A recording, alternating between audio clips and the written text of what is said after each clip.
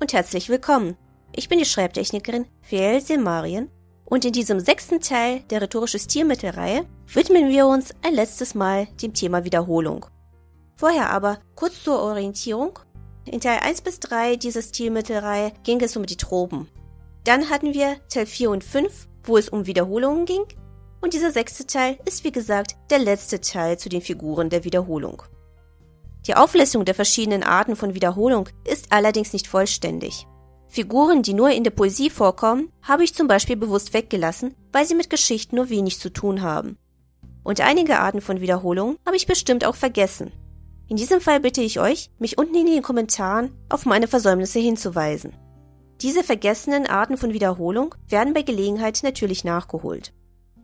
So, und nun stürzen wir uns ins Gefecht. Und dabei kommen wir als allererstes zur Alliteration. Die Alliteration bezeichnet eine Wiederholung von Anfangslauten. Diese Art von Wiederholung ist unter anderem im Marketing sehr beliebt.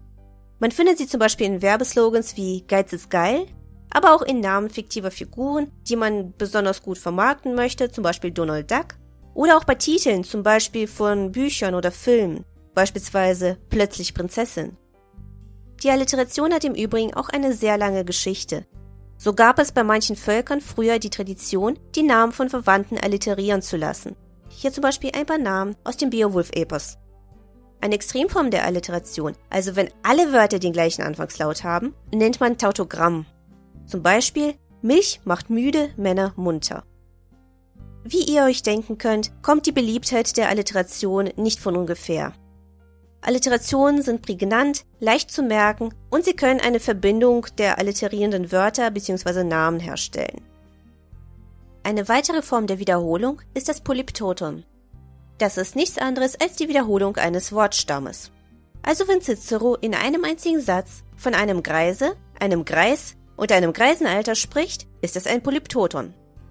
Ein Sonderfall ist hier die Figura etymologica, diese ist gegeben, wenn die wiederholten Wörter verbunden sind und unterschiedlichen Wortarten angehören. Also zum Beispiel die Verbindung von einem Substantiv und einem Verb, die denselben Stamm haben. Ein konkretes Beispiel wäre ein Spiel spielen oder ein Kampf kämpfen.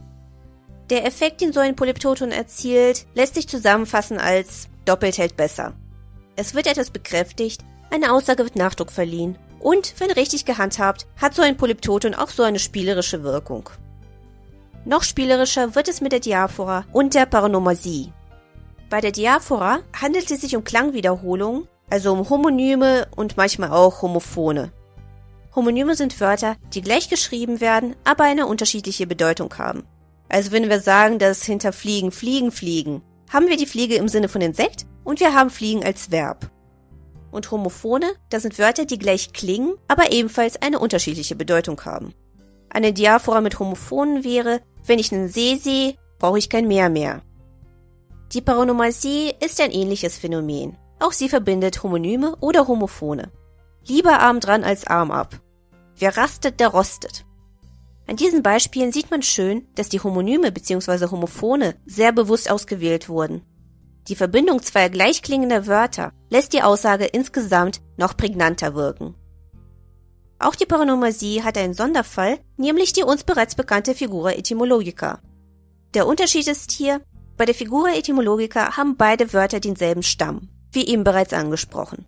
Spiel und Spielen haben denselben Ursprung. Arm im Sinne von wenig Geld und arm im Sinne von Körperteil haben hingegen rein gar nichts miteinander zu tun. Dass die beiden Wörter gleich klingen, ist eigentlich purer Zufall. Im Zusammenhang mit der Paronomasie gibt es noch ein weiteres interessantes Phänomen, nämlich den paranomastischen Intensitätsgenitiv. Dieser ist gegeben, wenn ein Wort im Genitivplural wiederholt wird. Zum Beispiel König der Könige, das Spiel der Spiele. Das ist eine durchaus sehr beliebte Spielerei, vor allem wenn es um Buch- oder Filmtitel geht. Dass man auch Satzglieder wiederholen kann, beweist die Existenz vom Parallelismus und vom Chiasmus. Wir haben es mit einem Parallelismus zu tun, wenn zwei oder mehr Sätze oder Teilsätze dieselbe Abfolge von Satzgliedern haben. Sie hören weit, sie sehen fern. Beim Chiasmus hingegen hat der zweite Satz oder Teilsatz eine spiegelverkehrte Abfolge von Satzgliedern. Ach Gott, die Kunst ist lang und kurz ist unser Leben. Während wir beim ersten Beispiel das Subjekt in beiden Teilsätzen an erster Stelle hatten, haben wir das Subjekt in diesem Beispiel zuerst an erster und dann an letzter Stelle. Eine Sonderform des Chiasmus ist die Epanodos.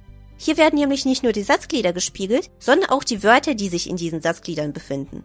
Zum Beispiel, wer nicht kann, was er will, der wolle, was er kann. Last but not least sprechen wir über die Tautologie und den Pleonasmus. Die Tautologie ist eine inhaltliche Wiederholung, zum Beispiel durch Synonyme oder gleiche Wörter. Nie und nimmer, Geschäft ist Geschäft. Beim Pleonasmus hingegen werden ganz verschiedene Wörter gebraucht, die aber trotzdem dieselbe Bedeutung implizieren. Eine runde Kugel. Eine Kugel ist immer rund. Oder gratis Geschenk. Ein Geschenk ist immer gratis. Wie die meisten anderen Formen der Wiederholung auch, sorgen die Tautologie und der Pleonasmus für eine Verstärkung des Gesagten.